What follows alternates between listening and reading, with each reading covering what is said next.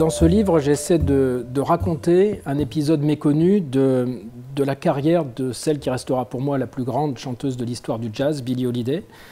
Nous sommes en novembre 1958, il ne lui reste que huit mois à vivre. Et elle est en fin de carrière. Aux, États-Unis, euh, elle est euh, bannie des clubs puisqu'elle a eu des soucis en matière d'alcool et de drogue. Donc euh, la justice américaine lui interdit de se produire dans des, clubs. Elle a des soucis financiers. Et ses agents lui trouvent in extremis une tournée, enfin c'est un bien grand mot, en Europe puisque ça va se limiter à Milan en Italie et à Paris. Et le 1er novembre 1958, elle arrive à Paris, elle arrive en Europe pour un mois. Et je reconstitue dans ce livre, au jour le jour, ce mois de novembre 58 dans la vie d'une Billie Holiday déclinante. Alors il y a d'abord la séquence italienne où elle enchaîne un concert dans une grande salle de Milan puis dans une toute petite salle et ensuite la séquence française où elle se produit le 12 novembre à l'Olympia en présence du, du Tout Paris et ensuite, ce qui est beaucoup moins connu, euh, dans une toute petite boîte du, quartier des Champs-Élysées qui s'appelait à l'époque le Mars Club. Et au Mars Club, il y avait 50-60 personnes par soir. Et en fait, elle a trouvé cet engagement parce que certains concerts plus importants ont été annulés du fait de son état physique et, moral, parce qu'elle a de gros problèmes notamment avec l'alcool, et sur scène ça se voit. Et in extremis, on lui a trouvé cet engagement dans un tout petit club de jazz américain. Et là, pendant une quinzaine de jours, elle va se produire plusieurs fois par soir jusqu'au bout de la nuit devant le tout Paris euh, des arts et de la musique. Sagan vient la voir, Duke Ellington vient la voir. C'est une, icône à la fois pathétique et grandiose, et j'essaie de reconstituer ces 30 jours dans la vie de celle qu'on appelait à l'époque euh, Lady Day. Cette année-là est, importante à la fois dans la vie de Billie Holiday et bien au-delà dans dans la société française et la société américaine. Vous avez à l'époque de nombreux jazzmen noirs américains qui habitent à Paris dans des hôtels. Ce sont des amis de Billie Holiday. Elle les fréquente tous les jours. Et ces gens-là ont fui le racisme aux États-Unis pour trouver une meilleure situation ici. Ils jouent dans des clubs, ils constituent des petites communautés d'artistes comme ça, et tout un monde très particulier.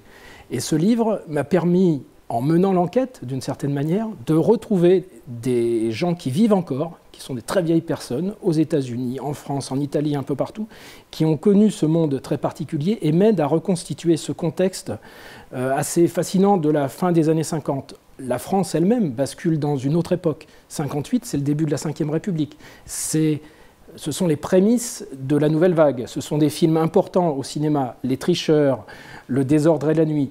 Nous sommes dans un contexte très particulier et Billie Holiday, l'icône absolue du jazz, traverse cette période de nuit.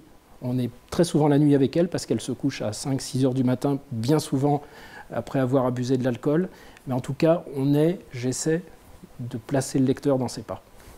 Ce livre n'est pas un roman, c'est un récit euh, qui s'inspire uniquement de faits réels, c'est-à-dire que euh, j'ai retrouvé autant que possible des témoins directs de cette époque qui m'ont permis de recomposer en quelque sorte ce passé. Et, le livre est construit à, deux vitesses, je dirais, c'est-à-dire qu'il y a d'une part au jour le jour le récit de la vie de Billie Holiday en novembre 58, et euh, en alternance avec ces passages, ma propre quête, enquête en quelque sorte, auprès des, témoins encore vivants, qu'ils soient euh, américains, français, euh, italiens, ou alors des, recherches d'archives.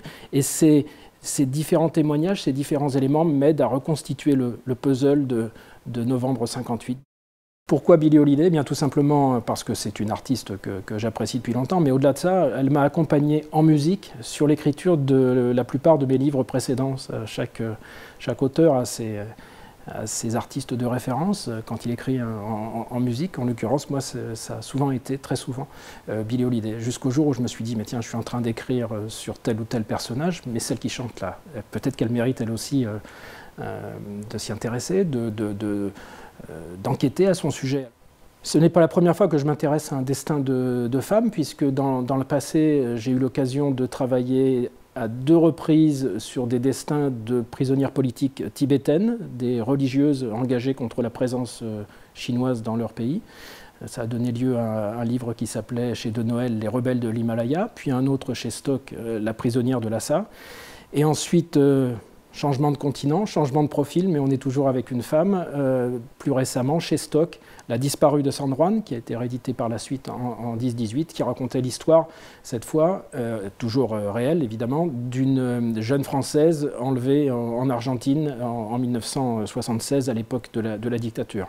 Donc cette fois, c'est un autre destin de femme, avec un profil évidemment totalement différent, mais il y a peut-être, je ne sais pas s'il y a une explication ou pas, mais je pense, je crois que les destins de, femmes, les destins de femmes un peu particulières, qui sortent de l'ordinaire, m'intéressent particulièrement. Et surtout, j'aime bien euh, aller à la recherche de ce passé, euh, grappiller des éléments, retrouver des témoins, faire parler des, vieilles personnes. En tout cas, j'ai pris beaucoup de plaisir à le faire euh, dans ce livre sur Billy Holiday.